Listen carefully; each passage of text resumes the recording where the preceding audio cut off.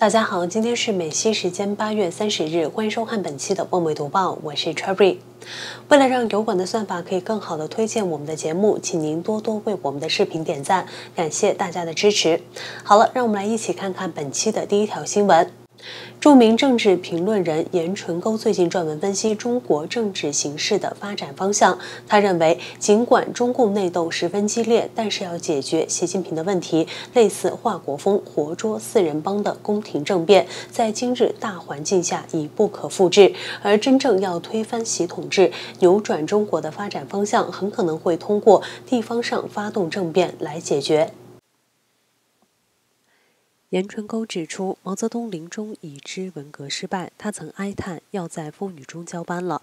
老毛留给华国锋的政治遗产，一是集党政军大权于一身；二是军队方面以叶剑英等老帅辅佐；三是中央办公厅由汪东兴掌管。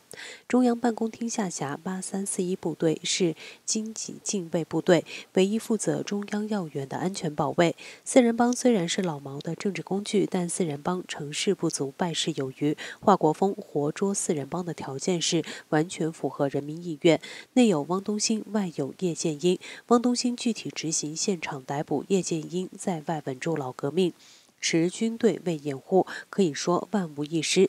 四人帮一伙空谈革命，手无缚鸡之力。老毛一死，那一场宫廷政变，内外条件均已成熟，有惊无险，只待执行而已。但今日习近平的处境与四人帮有天壤之别。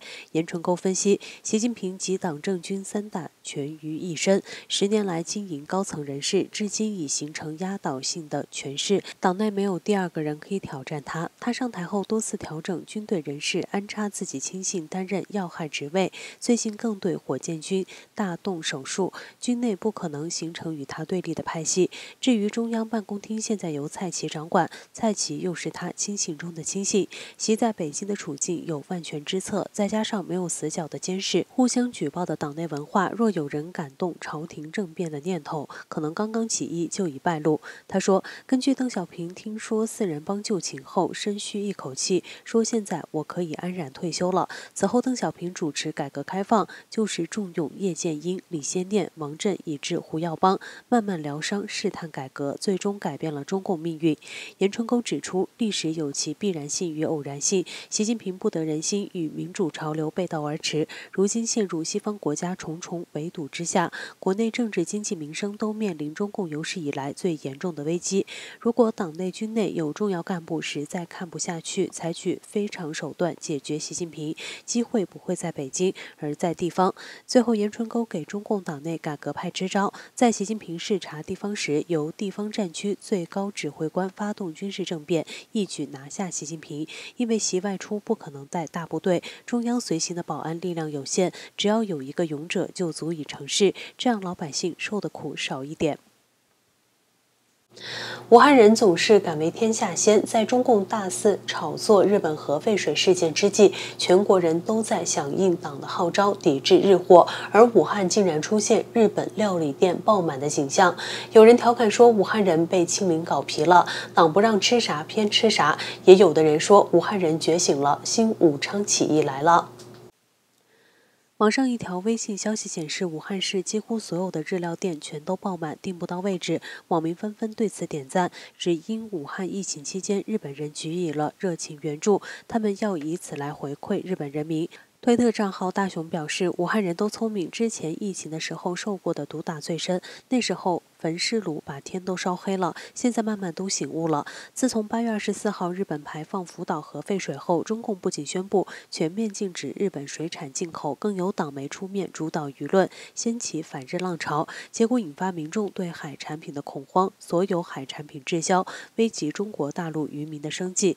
数据显示，去年中国从日本进口水产品总额仅为数亿美元，但是同年中国全社会渔业经济总产值却高达数千。千亿美元。有学者表示，中共的这波造势运动将对中国的渔业和渔民造成极大伤害。浙江和福建有网民表示，很多渔民花了数百万元贷款购买生产工具，目前的局势对许多家庭来说是灾难性的。如果不能以渔业为生，很多家庭的经济支柱将倒塌。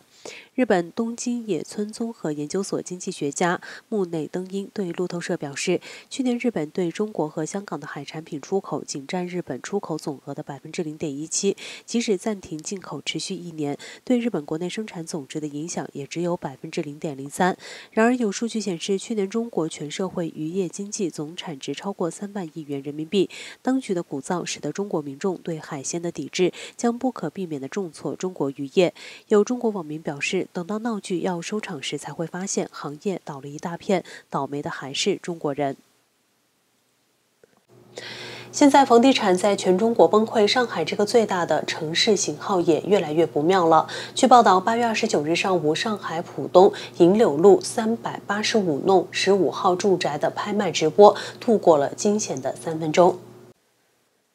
报道说，这场拍卖从。八月二十五日周五十点开始，到八月二十九日上午十点结束，三天的竞卖时间里，两天零二十三小时又五十七分都是沉默。参与竞拍的五位大佬都在静静观望，眼看着距离结束只有三分钟了。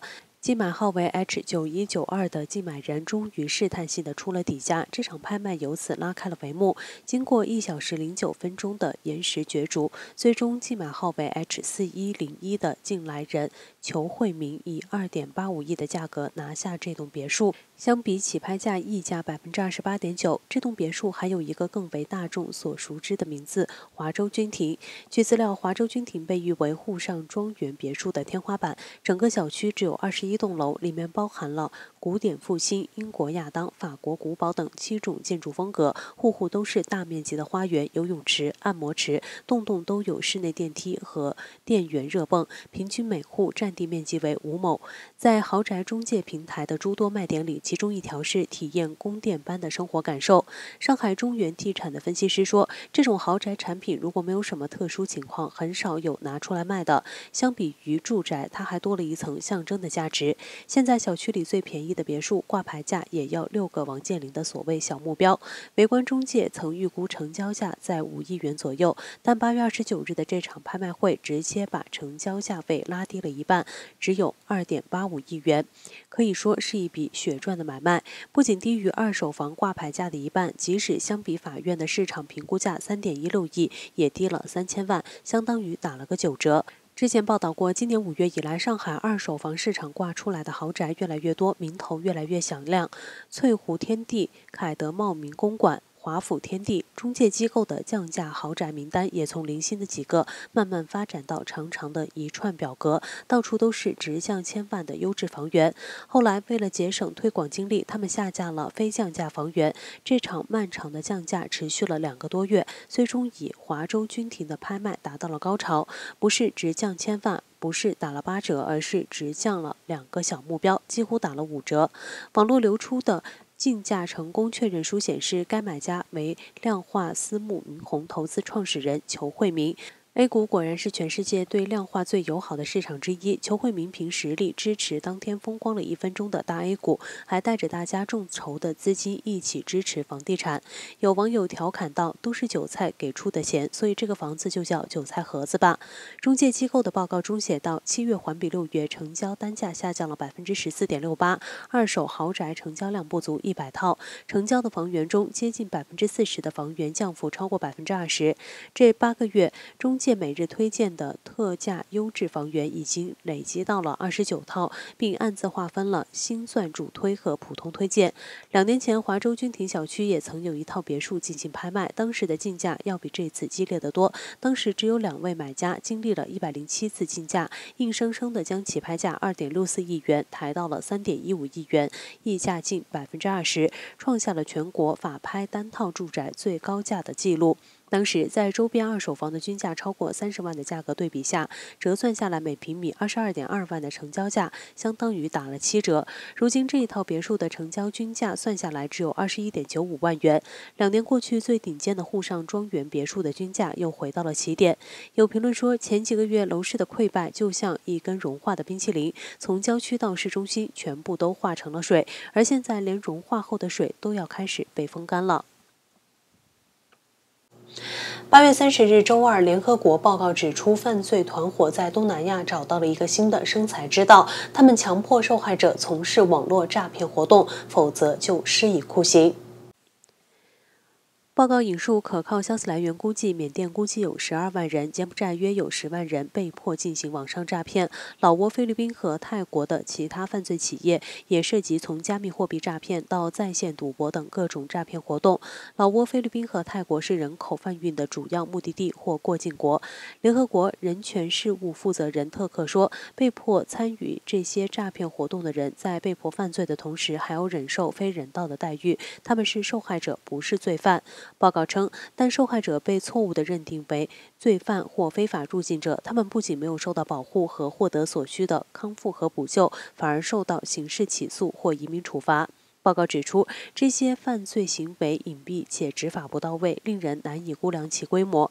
诈骗中心每年产生的收入高达数十亿美元。被胁迫进行网上诈骗的受害者来自东南亚地区、中国内地、香港、台湾、南亚，甚至远至非洲和拉丁美洲。